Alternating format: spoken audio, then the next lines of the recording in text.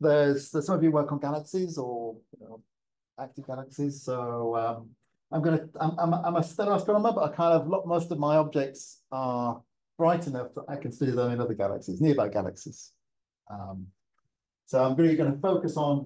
So there's you know, we we know there's a clean, fairly clean break between stars at the low mass end stars and brown dwarfs, about 80 something Jupiter masses, um, below which you don't get any nuclear generation. But the but the, the the the question I'm going to pose really is whether there's a there's a physical limit to how massive normal stars can get. Um, and and I would say the the the, the headline is that um, there probably isn't a physical limit, but there's probably a, a real world limit due to competition gas uh, in a in a dense star formation.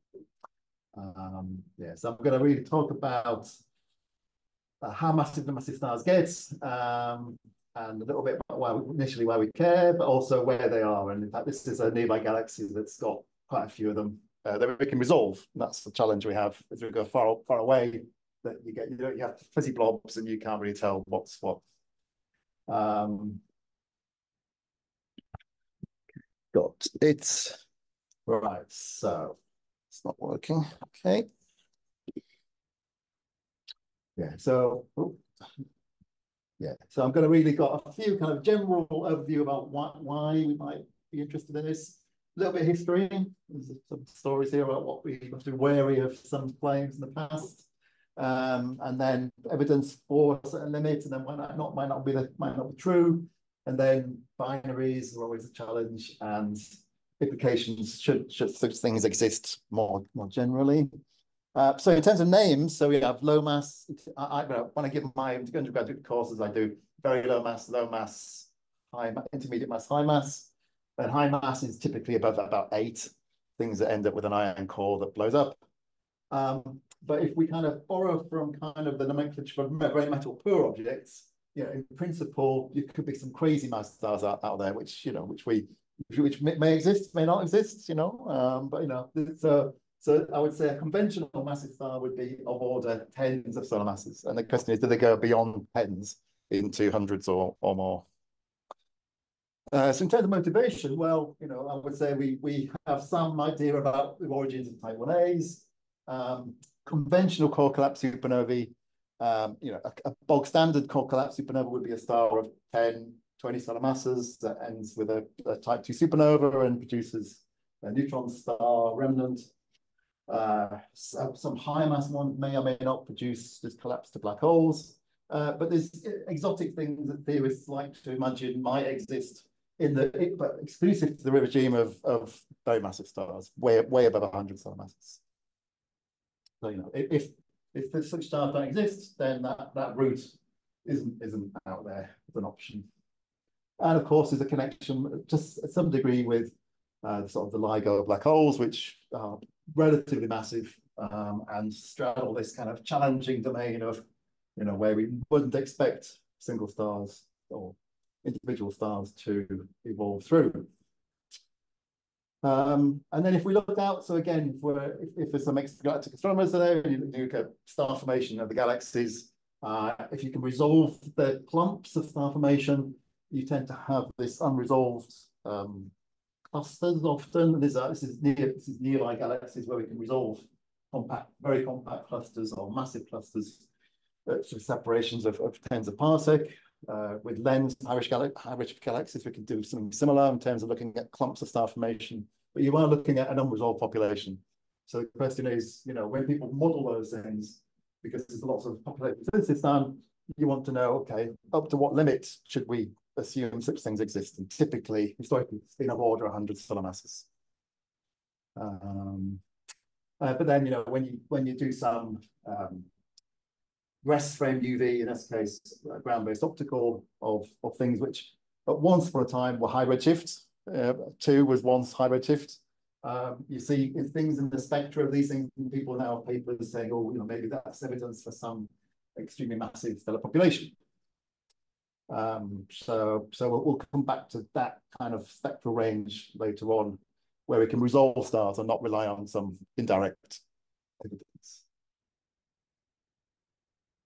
Okay, so before we want to think about where might they be, let's start where, where we think they probably don't exist.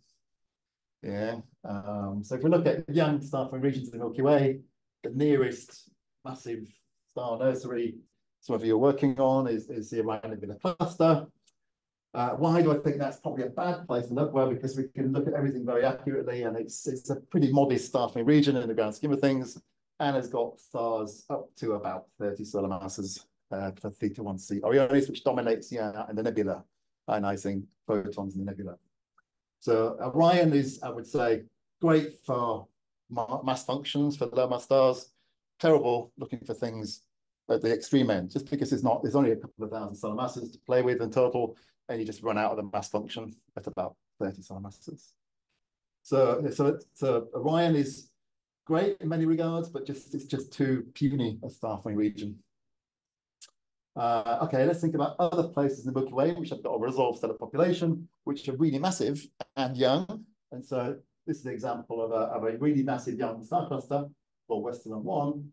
Uh, it's probably it probably started with a probably got total stellar mass of order 100,000 solar masses. That's quite impressive. But it, it's it's got it's got evolved objects in it, yellow supergiants, red supergiants, Wolf-Rayet stars, all sorts of stuff. So it's clearly too old. It's somewhere between five and 10 million years old. Therefore, any really massive stars that if they were if they if when it formed were there, have long since gone, as I'll show up shortly. Basically, the lifetimes are between two and three million years for the most massive stars. So if they were there, we, we don't see it anymore. Um, well, there are neutron stars in there, but we don't know about any black holes. Okay, so that's that's a bad place to look. Okay, where about let's now go into a bit of history about where people have looked before and made claims around existence of supermassive stars, stars with masses of way above a thousand. And we have to be wary about these claims because it's what we found out later on. Um, okay, so for that, before we before I look at individual regions, um, I would say historically easy accessible um, uh, galaxies, um, which are not satellite galaxies, they're in these extremely wide orbits, uh, basically kind of a comet-like orbits around the Milky Way, uh, the Magellanic Clouds. Uh, and way back when FEAST did a survey with a Radcliffe telescope in, in South Africa, produced the catalogue of bright stars in the clouds. So there was objects run R1 through 50 in the small cloud, and then 51 through 158 in the large cloud. These were bright stars, and most of them probably are bright stars. But one of them um, has is, is somewhat notorious for having this kind of history about claims and counterclaims about its existence. So this is the entire the LMC. You can see the bar, the Doradus or the tarantula off away from away from the bar. It's because it's a brightly stage two region in the in the local group. Well, the sky is about as big as the Orion Nebula cluster, um, but it's 100 times further away, so it's 100 times bigger. Uh, and about a thousand times more ionizing output than Orion. So I would say Orion is fantastic for near, nearby detail stuff, but on the grand scheme of things, I mean, even 30 Doradus isn't isn't impressive on galaxy scales, but it's the nearest resolved impressive supergiant H2 region. Uh, if you zoom in on the tarantula, uh, there's a kind of a central ionizing region. You see, so you see number. If you zoom in on that, the center of that, the central ionizing region, there's lots of stars, and this this region called R136. I'm going, I'm going to talk quite a lot about R136. So just to give you some sense, it's a it's it's it's one of these um, Radcliffe numbers. It's, it was once thought to be a really bright star. Um, and if we go back to the early 80s, quite a long way back now, this this was the you know, this was the best quality observations around 1980 that we could do of R136. It, it was had, had component A, B, and C. Uh, and component A, you can see, is really bright. This was from the ESO 3.6 meter telescope. And when the first, I would say, when IUE in the ultraviolet was able to take reasonably high quality observations in the ultraviolet. The IUE was pointed in the early 1980s on this object, and the spectrum just looked looked a bit like a hot star. And so there were claims saying, oh, it's one hot star, but it's a really bright hot star, therefore, you know, it's got a mass of several thousand solar masses. Uh, with, within a couple of years, uh, Weigelt um, was able to basically establish that no, no, no, it's not one object. It's there's a whole there's a, several objects in there, about eight. And so component, so this is R136A, and then component one is the brightest, and two, and so on, with a eight components that are resolved. And then once you have like once you have corrective vision on Hubble, it's like sure it's a cluster. Um, so this was this was a state of the art in 1980, 1985 state of the art um, spectral imaging. Um, this is probably state of now because this is um, Muse narrow field mode high resolution imaging. So, so you get a spectrum, not only do you get a pretty picture, well, you get a spectrum of every spaxel in there at pretty high angular resolution. Um, Hubble-like, if not a little bit better. Okay, so so um, so that that claim of a 2,000 solar mass star in our nearby galaxy soon vanished, and therefore people have been very wary about making claims about such some such such you know large values ever since. Um, so how do you get masses? Ideally, you want a binary, but there are very few binaries that have got very high masses. I'll show a couple of examples today, but in general, you kind of reliant on how luminous a star is, and then assuming some mass relation to infer a mass. So you need luminosity, but to get a luminosity for stars like the sun, well, it's relatively straightforward you know how far away they are because it's all, all the actions in the optical. If you're looking at cool stars, all the actions in the infrared. If you're looking at basically an A star, a little bit in the AUV, that's okay. We can do that from the ground. Look at really hot things. This cartoon from Peter Conti from a long time ago essentially shows that really hot things, of course, your UV opticals in the Rayleigh-Jeans tail of a distribution, all the actions in the extreme UV. Um, but of course, that's inaccessible except for very nearby objects because of pesky inter interstellar hydrogen, which absorbs all those ionizing photons. So you kind of rely on models and the trouble is, these three objects from the Rayleigh-Jeans tail are the same, but you've got quite different beasts that are producing ionizing photons. And you need reliable models to understand, to interpret the observations to go what the luminosity is. And that's where I think there's been work in the last few decades on these really hot massive stars, when in the past, uh, 25 years ago, I, I was saying these stars are not crazy mass, high mass, but now I'd argue that they're higher. Okay, so that was this sort of now having introduced the fact that there's there's potential really massive stars out there, and you have to be really careful about, you know, is it a cluster or a star? Um, so if we go back to um, the early years of this uh, century, um, you know, what what evidence was there for and against both ob observational and theoretical for and against maybe a physical limit above which we don't think stars can exist or form, conventional stars. So if we take the case of, um, so not only is uh, these young star clusters in the clouds, but there also are these young star clusters in the galactic center. The Arches and the quintuplet. The Arches is the younger of the the three. Is also one at the uh, close to Sagittarius A star. But you know, in this, I would say in the 2000s, we were developing using using Hubble and ground-based telescopes to obtain high spatial resolution imaging and some degree of spectroscopy of individual stars in these young regions. Um, so this was some work from Don Figer in the early 2000s, where using just using NICMOS, so using just photometry, then converting that photometry to uh, brightness and then assuming something about the properties and inferring a mass from that. So it's really tough to do, but he, he, went to nature, so it must be true.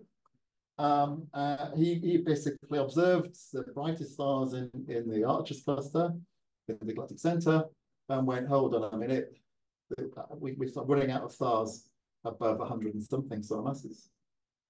Um, so this is with a Salpeter slope. You'd say, well, there should be lots of stars down there which you're not seeing. Um, and so it was, I would say, in 2005, you'd say, oh, that sounds like pretty compelling evidence that there's a limit at 100 and something solar masses. What the reason is, we don't know. But that seems to be, you know, from that plot, you go, that looks pretty pretty compelling. Uh, and so you kind of go, okay, what does theory, what does theory tell us? Well, if you look at a standard study evolution textbook, um, you kind of think, well, here's our mass and here's our luminosity. And with us, with our canonical L goes with m to some power, about three, three and a half, depending on what your mass domain is. You kind of go, ah, oh, why aren't the stars more than 200? Well, because they hit the Eddington limit. Yeah. Now, so if if this was true, and if this was true, that's the end of the talk. It's very short seminar, isn't it? Yeah, but there's more. Um, both on the observational side and the theoretical side. Um, yeah. So if it was true that there's a limit at 100, 150, they're not, you know, they're basically, we're, we're very much in the, in the standard iron core collapse supernova territory and all those exotic things basically can't exist or can't exist in the present universe with something like solar composition. Okay, let's go back to that um, Eddington limit issue. So this is now taking the Geneva models, the one actually that uh, Maeder's textbook, Maydair was the original author of this of this thing, so he should know what he's doing. Um, this is the limit. Uh, this is our 10 to the 3 L goes with M cubed for main sequence stars. But the reality is that that slope changes in different mass domains. And if you do calculations up to hundreds of solar masses, actually what turns out is that the, the, the zero age main sequence doesn't do this, basically turns over. So the models predict that the really high mass stars, the slope in the L to M relationship is much, much flatter. In fact, the asymptotic value is m equals 1, m to the 1. Um, and so if we think about the Eddington parameter, this ratio between, which is proportional to one luminosity to mass, you know, our, our, you know, our stars in Orion have a very small Eddington parameter of, you know, uh, hundredth or something. But these really massive ones do don't quite reach the Eddington limit, but they're quite close to it, which means I would say that they expect to have quite strong winds on the main sequence. So maybe not wouldn't really call them I'd call them something else. Of course, another another implication of that is that if you now think about the mass lifetime, yes, you know, you'll think about your fuel fuel supply and the rate at which you're getting through that fuel. You know, for it's a very steep function of, of mass for low mass stars. But of course, as you as, as, this thing tends towards L goes with M to the power one, in the asymptote, it becomes mass independent. Yeah, so actually for a for a typical O star, yes, it's still quite a steep function of of uh, of mass, but in the really high mass stars, it becomes almost mass independent. Because if it didn't do that, you'd have a lifetime of second, or something in the extreme. Yeah, but the but the, the shortest lifetime of the most massive stars is a, a few million years which is why you need to find clusters or starting regions younger than them. So that was kind of some theory, which we can always not trust entirely. How about observations? So this is again another young star cluster in the Milky Way. NGC 3603, lots of dust towards it, but we can observe it quite well. Um, and so a former, a former postdoc of mine, um, Ollie used Hubble to um, to observe the central stars in that star cluster. It's a little bit like the one in the, in the LMC, but a little bit less massive. And and so he established dynamical masses of the of of the primary of of one of these components, and with bigger certainties, established there's a there's a hundred and a ninety solar mass ish stars in a four day orbit. So you might go, well, that's not that much of a hundred, but it certainly shows that such stars exist as, binary, as binaries with masses in the ballpark of 100 solar masses. Um, so, know, this is the eclipsing system. So again, we're not reliant on models that we don't trust for this. It's, reasonably robust. It's an eclipsing binary system. Um, okay, so so I would say I've, there I've tried to show that there's kind of a sort of a, a sense that there may be a real limit but actually that there's there's there's um, theoretical and observational things are a little bit fuzzier maybe than you might have thought a couple of decades ago. Okay, so come back to this um, this LMC dense star cluster uh, 36. We have those three components, A, B, and C. That was 1980. This is now uh, recent uh, sphere, uh, VLT sphere K-band observations. So basically, this is the cluster here, and these are just a couple of bright stars, uh, B and C. For A is clearly a star cluster, uh, where the separation between the brightest things are small, you know, of order of tenth of a second, uh, which was challenging in the pre-Hubble era, but is, I would say, now very doable with with, with kind of Hubble, Webb, and ground-based AO facilities. Okay. And then this is, uh, so that was a K-band image, which allows us to get photometry, which is very important. Optical photometry is there's some variable extinction, which is hard to quantify very accurately. But the K-band photometry is robust, which means you know how bright the star is. Next thing to know how hot the star is to work out its velocity. And for that, you need spectroscopy. So this is this is now again a Hubble uh, WIFPIC 3 camera 3 image of that central region. Uh, and superimposed on that are these these lines are basically slits. Uh, Hubble doesn't have an IFU, but I did the next best thing, which is to step this slit across the cluster to get spatially resolved spectroscopy of the brightest 50 or so stars.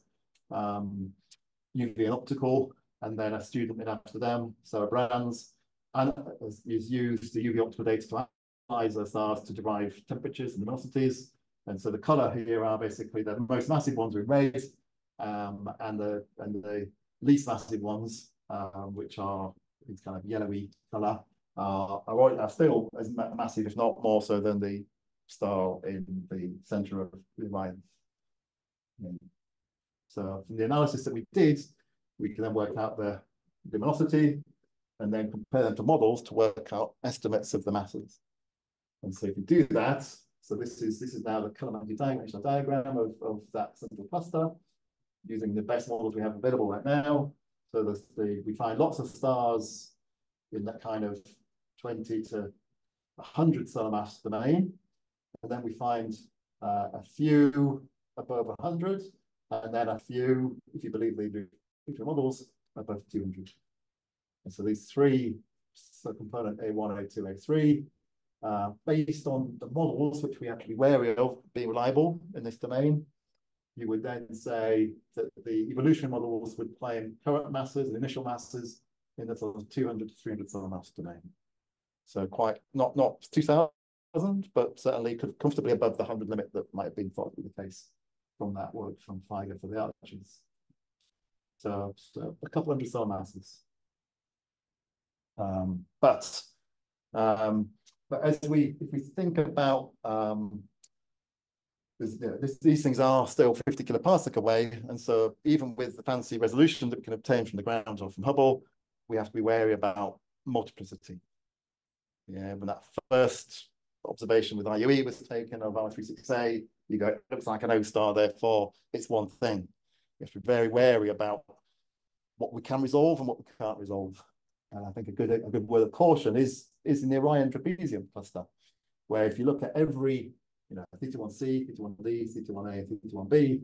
You know, there's binaries here, binaries here, and there's pairs of binaries here. So binaries everywhere amongst massive stars. So we have to be really wary about going, well, can this be a binary or multiple system? Uh, because young massive stars do love company. And indeed, when people have done statistics on massive stars in the in galactic star clusters, and in the LMC, is actually in the tarantula region, we find basically that most of them either are uh, in binaries now, or um, or essentially if they're if they're single, they're you know, few of them are far enough apart from each other not to interact during evolution. So some binary evolution will happen for the majority of massive stars. So what can we do about the uh, you know possibility of these things being not even just a single object, but maybe even just a tight, really tight bound cluster of, of normal stars. Now, as I mentioned, these, these really massive stars, if they exist, are very close to the Eddington limits, and if so, they have very strong winds. And so actually the spectra don't look like normal O-star spectra with absorption lines. They have emission lines and look like what we call a bit like a Wolf-Rayet emission line star because of their strong winds.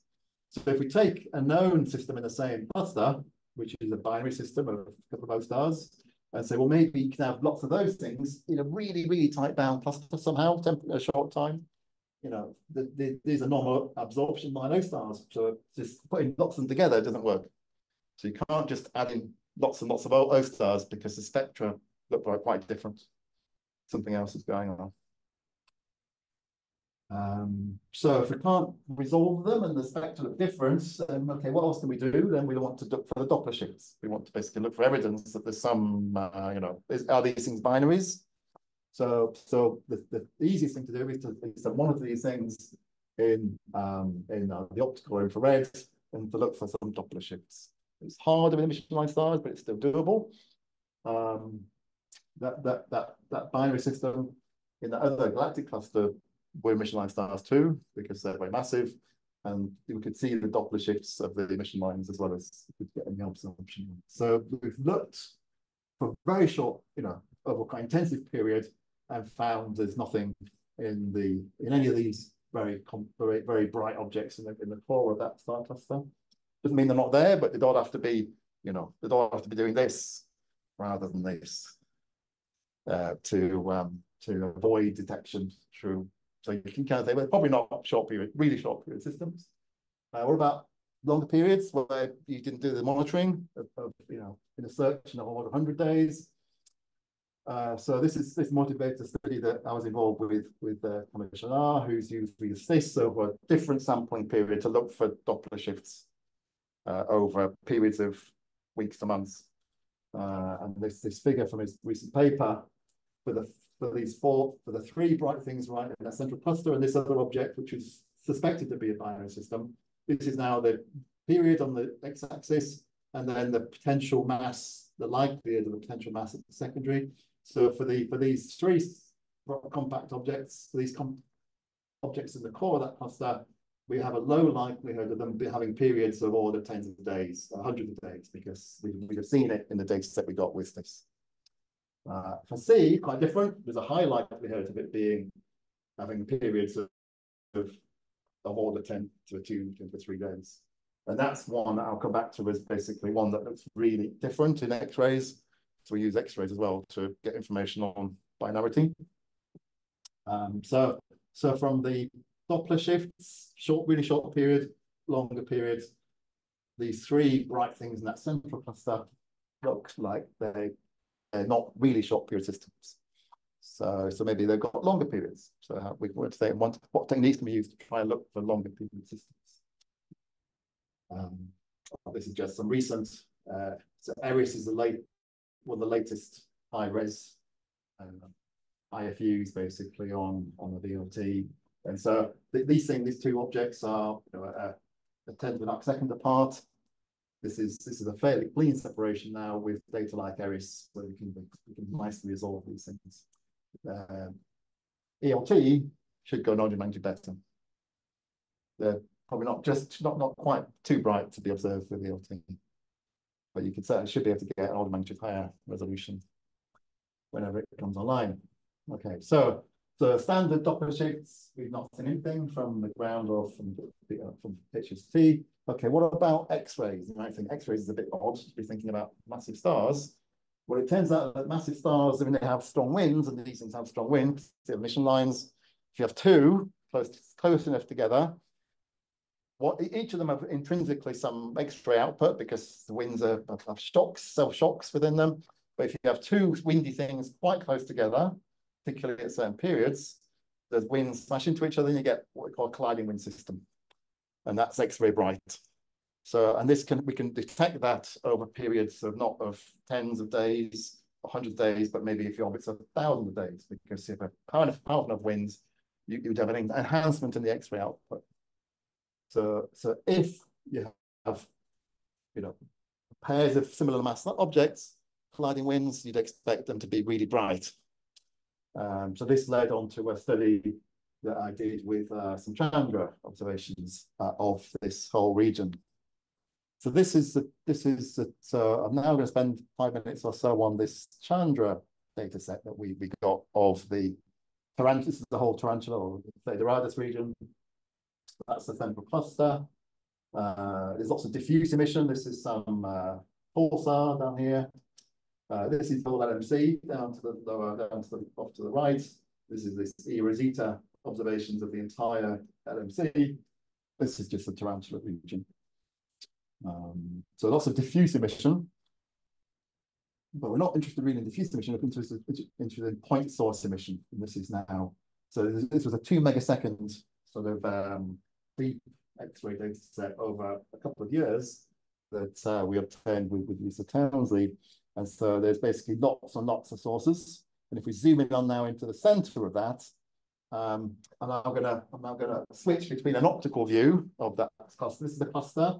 Um, so this is A cluster uh, R36A. This is B and C on that scale there. This is another object that we're, we're going to mention in a minute. Melnick 34 it's called, which is an optical HST um, WFC3 image of that region. And now shift to the X-ray view of that central region what do you see? Well, you see the central cluster's there, but it's kind of not as bright as you might think it should be. C was the one that had evidence for the Doppler shifts from the, this data set. So you kind of go, yeah, that's, that's uh, X-ray bright and Doppler shifts binary. And this, the brightest thing of all here, is this fairly innocuous star. I'll go back to the optical view in a minute. That is really X-ray bright. So we can we can look at that one a bit more to go, well, what's going on here that isn't going on in the central cluster and maybe going on to a lesser degree in this other object here. So I go back to the optical remind you that that's a cluster. This was the X-ray brightish thing, and that's really X-ray bright thing. This this object actually turned out was the one where Hubble had its correction vision correctors with you know COSTAR. The first thing they looked at to make sure it was working was that because it's a bright thing in a nearby galaxy. Anyway, so optical cluster, lots of stars everywhere. Um, but that's modestly bright. This is pretty bright, and that's really bright. So what's going on here? Well, it turns out because we had 600 days of data, we could basically find it had a period of 155 days. So what's that five months period where it basically goes along and it, it rises in brightness and then there's an eclipse and X-rays and then it recovers uh, every 555 days. Soft component and a very hard component with a with the old 6.7 kV ion feature. Um, so classic colliding wind system.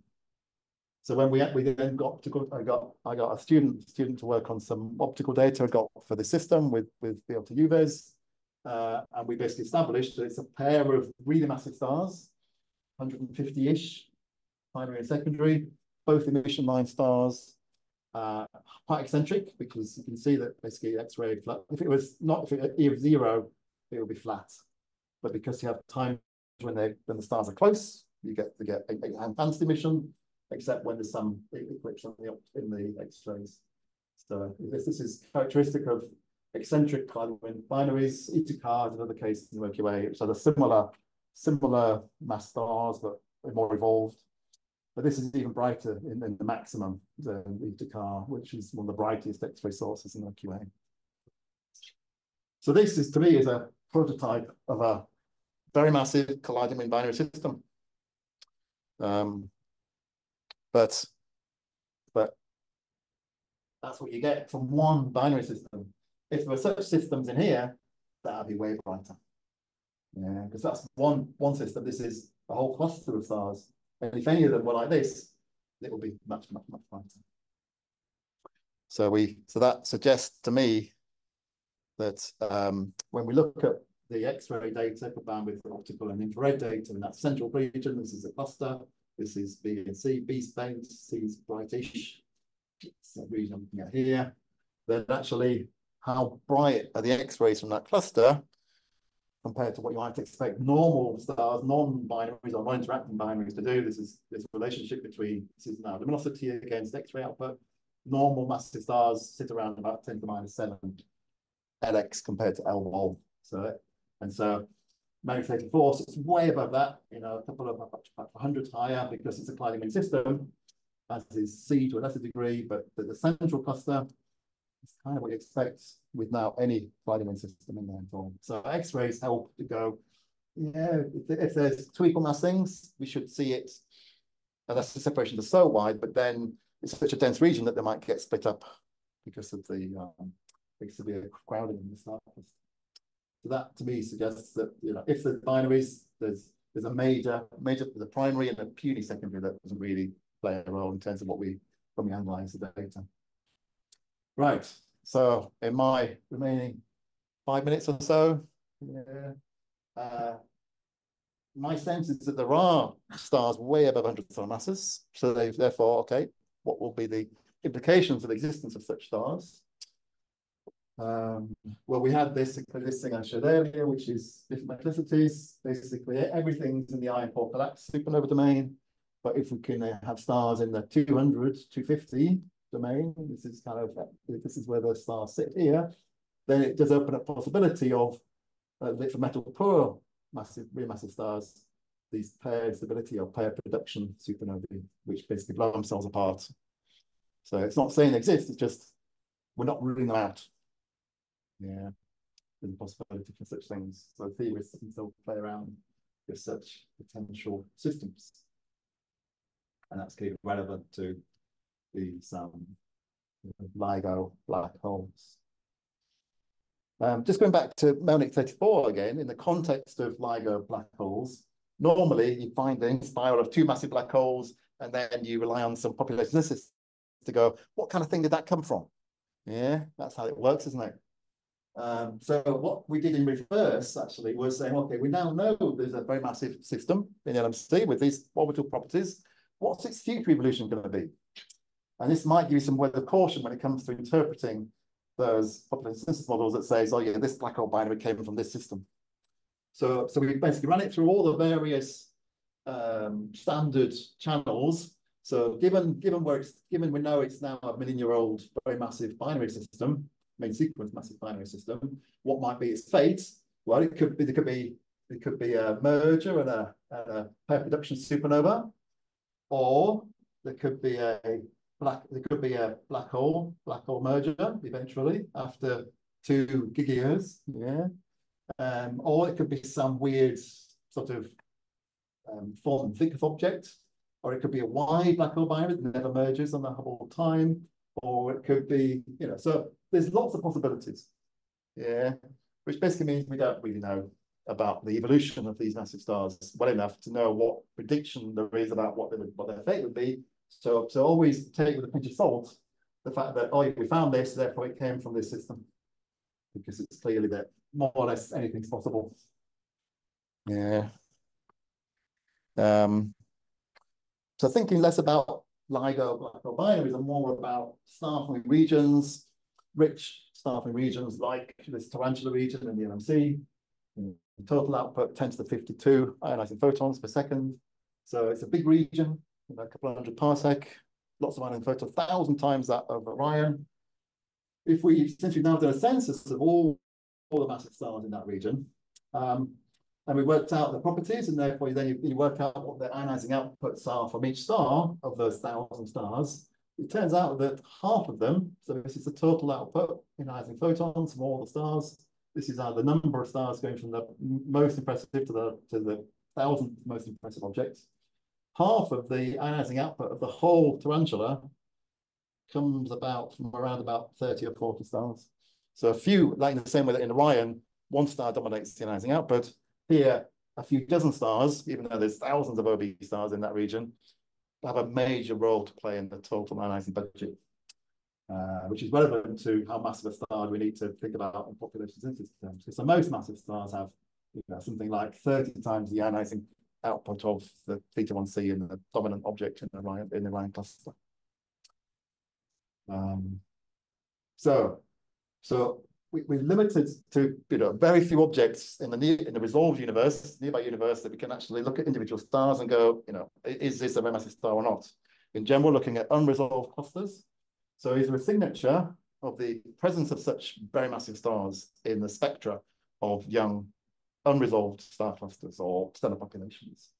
So if you now just focus on that central parsec of that uh, region, R136, because I had individual spectroscopy of all the stars, I did the cheapest thing, which is just to say, okay, I'm going to look at integrate all the spectrum of everything, and that produces this white line here in the ultraviolet. Yes, everything produces the white spectrum.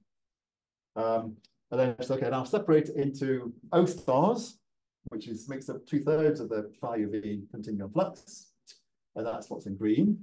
And then I looked at the half dozen things that are I, we analyze and refer to be 100 plus subacids. And there's basically, you know, there's I, know, I think like 80 of them in total for the most brightest resolved things. So like 70 normal O stars and about half a dozen really massive things in that HR diagram. And so they all look kind of similar in some regards, except for this 1640 mission line, which is uniquely coming from the very massive stars because they're so high up in the luminosity that they're so high up in their Eddington parameter that they have a really strong wind. And this is a wind feature, the combination line of helium. Whereas the, so even this, this is a very young region. Yeah, so normally this line might be coming from a classical Wolf-Rayet, which are evolved stars, evolved massive stars, but they don't come in until about three or four or five million years. So it's young enough, it's only two million years old at most. Therefore, this is these are the main sequence very massive stars producing this 1640 mission. So in, in such a young cluster, I would I would say this is a telltale sign of the presence of very massive stars if it's as young as this cluster is. Um, if we look on a, on a, on a bigger scale, because that's just a cluster which is a parsec in size, if we now look on a bigger scale and now looking at the central ionizing source of the tarantula, um, we, we I got some uh, some Muse data, and so actually the Muse data of that of that region looked at that, summing up all the spaxels in the optical gives you a very strong, very ionization nebula. So this is the O3 doublet, um, strong H alpha, strong H beta. You see some Wolf-Rayet features because there are some classical Wolf-Rayet stars in that region. This is now 30 by 30 parsec. This sits very much amongst the green pea galaxies, if you know about green pea galaxies and the BPT diagram. Um, but there's been a recent uh, UV, UV survey of produ producing high resolution UV spectra of OB stars in the, in the LMC and the SMC. So because I know the stellar content of this very well from the MUSE data, I was able to basically either use the UV data of individual stars that have been observed with Hubble, or if I hadn't been observed with Hubble, I used the template from this thing called the ULLYSES survey. Um, and so I was able to produce what I would say is a reasonable estimate of the empirical integrated spectrum of that entire region, not just the cluster, but the entire star forming region. And then I had basically 700 stars, the integrated UV spectrum here of that entire region, mostly OB stars, but I get a mixture of classical Wolf-Rayet and these very massive stars, very massive stars, ones in red here. So something like another half of the of the 1640 line comes from classical Wolf-Rayet stars, and the under half comes from the very massive main sequence stars. So they kind of both contribute. So for, for a mixed age population, it's very hard to tell the difference between classical and very massive main sequence. Um,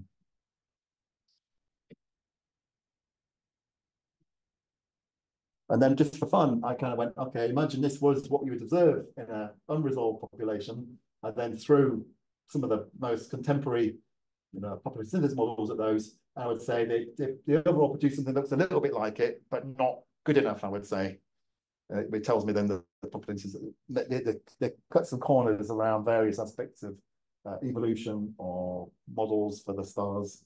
Um, this one did do a pretty good job, but but only at 2.2 million years population and not at 2.1 or 2.3. So this is its peak, which happened to coincide with that strength of that line. So overall, I would say room for improvement on the population synthesis, because that's really what they're trying to do. Um, and then the final thing I did is I went, okay, let's now do the entire tarantula. How would it look? With a radius of 100 parsec, which is generally what you're doing, you know, is unresolved regions of 100 parsec scale, put your cross aperture over it, see what you get. And again, it looks a bit similar. It's about a factor of two brighter. So half the ionized UV, UV continues come from here, the other half around here. In this case, I've just grouped together the Wolf-Rayets and the main sequence stars because it's very hard to know which which which classical Wolf-Rayet stars came from very massive compared to less massive stars. So I grouped it together. But overall, it's you know that's the thing that dominates the integrated UV spectrum of that entire region. Uh, similar challenges with population synthesis. Um, so just in the last minute, these are resolved populations. if we now go back to this unresolved population of this of this starburst galaxy, this blue compact dwarf, there have been spectra taken in the ultraviolet of of A1 in that galaxy, and it looks a bit like R136 with that 1640 mission. So again, they attribute that to be evidence for very massive stars in that in that galaxy, which may or may not be true. So by way of summary, this is what this is when I gave you context about what do I mean by different mass stars. Um, so I've got I got I've got nothing to add about this territory. Um, and um, and what we where we are currently is that I would say there is empirical evidence in favor of stars in the hundreds of solar masses. Um, is that a physical limit? Probably not. It's just I suspect it's just a competition.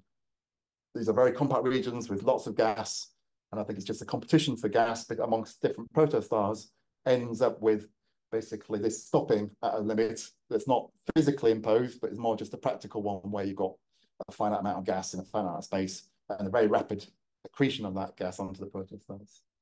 Um, so I'm going to leave it there, and there's various um, references if you are interested. So thank you very much.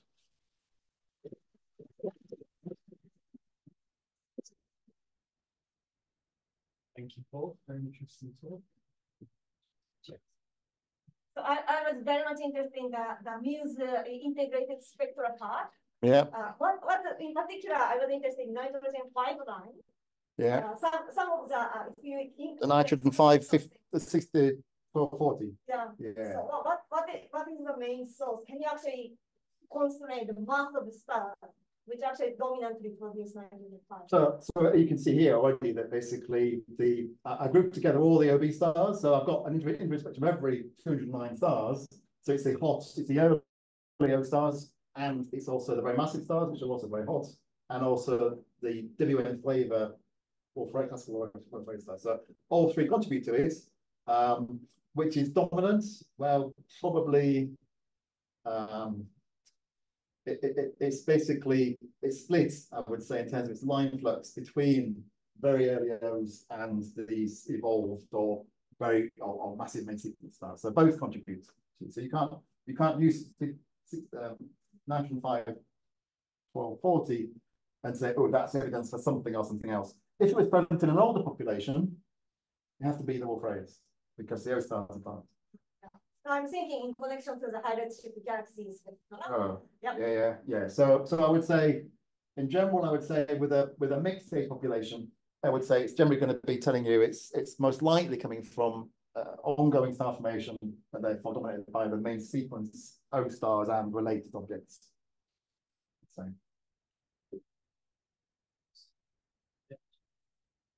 the winds associated with uh, the very massive stars, what, what sort of, um, in terms of the overall feedback budget for a star Are you talking about ionizing or mechanical or chemical? Yeah, mechanical.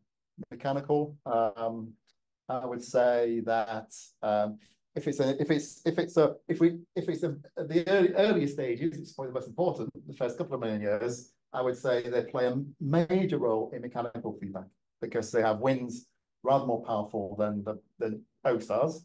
So if you, if you exclude them, you are you are underestimating the true mechanical feedback in the very early couple of million years. If if if it's if you're now at maybe five million years or so, the dominant source would be the um, classical Wolf-Rayet stars. If you look at an older population, again, the gas may have already gone by that point, but if it hasn't, um, the things that would dominate the mechanical feedback would probably be the red, would be red supergiants or that's and then supernovae, clearly, but supernovae might not kick in as early as some people think they would.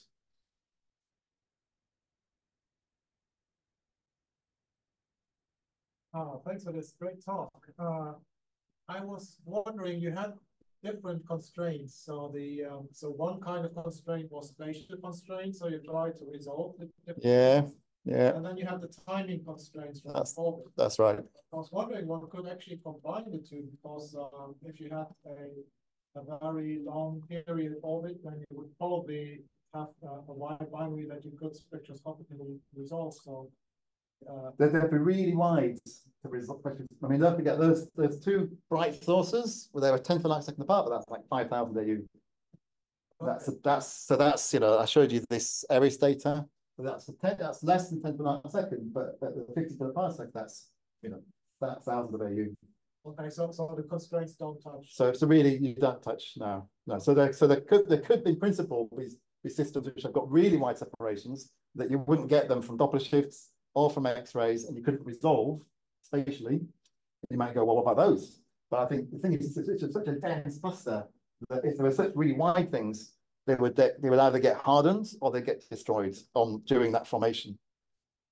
So I think there's probably reasons why we might think if such a really wide separation thing was at, birth, there'd have been some impact on that wide separation through, you know, basically, you know, basically soft, soft systems soften and hard systems harden, given the very dense environment that had to happen during the formation of this type of stuff. That's of course theory constraint. and- Well, I know, well, I don't, I like to avoid theory where possible, but sometimes one has to have some think, well, okay, what would be a possible scenario, but really.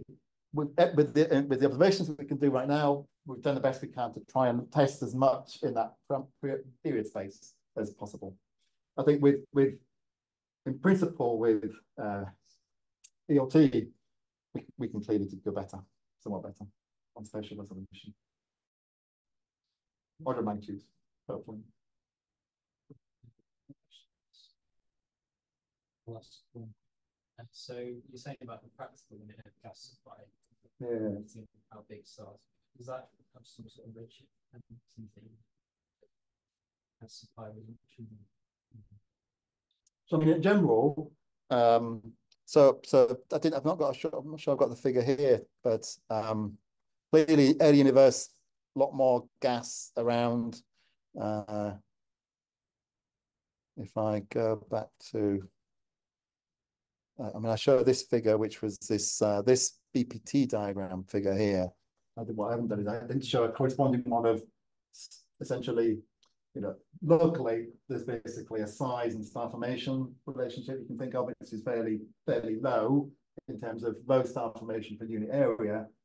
In general, as you go to higher redshift, you've got more gas supply, you get a lot of these clumps of high redshift, which are forming a lot of stars in a very small region. Uh, 30 Doradus actually, or the, the, this region itself, sits much closer to the higher redshift representative value than it does in the local universe. It's quite extreme locally, but it's, it's probably a bit more typical for high redshift. The main difference with high redshift, of course, is that you're looking at much more metal poor um, metallicity than you are here. This is only half solar, which is which is quite high in gradual things, you know. So a lot more metal poor star formation clear in the redshift five to ten territory. So that will be have a big impact. But in terms of the, the intensity of star formation, this is as close as you can get to a, a typical knot star formation in a lensed redshift two galaxy. Same.